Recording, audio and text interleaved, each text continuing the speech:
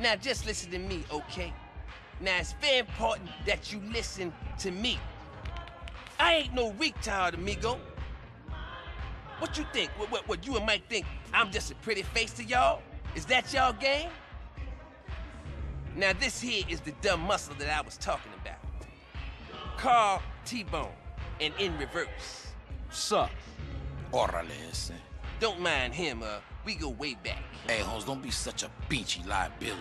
Liability? Liability for what?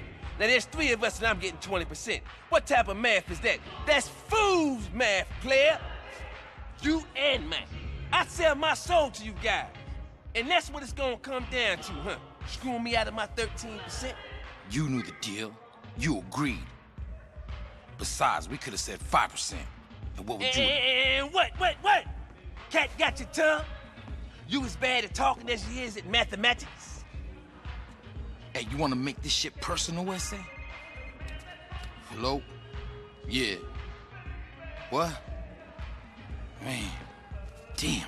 Hey, man, I gotta bounce. Oh, no, you don't. I invented that trick, baby. Carl, come with me. We gonna have to bust us a couple of melons up in here. What do you mean the shipments have been ambushed? We can't just go out there, T-Bone. It could be a DEA trap.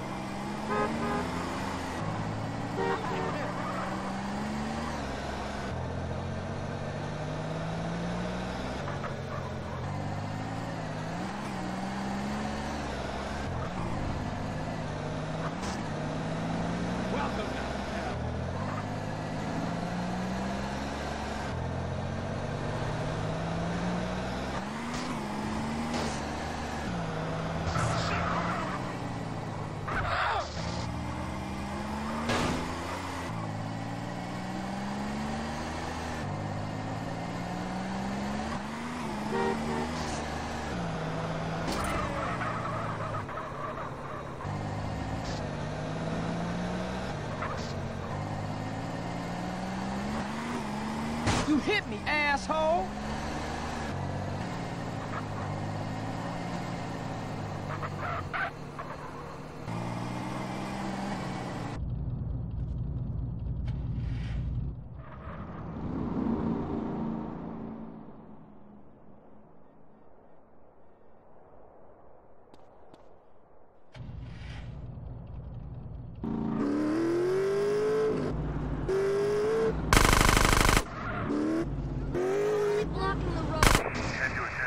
1037 in east downtown. Suspect left from a dark motorbike.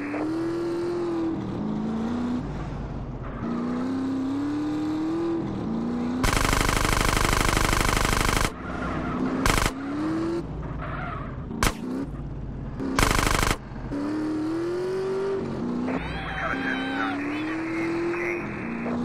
Suspect left from a dark motorbike.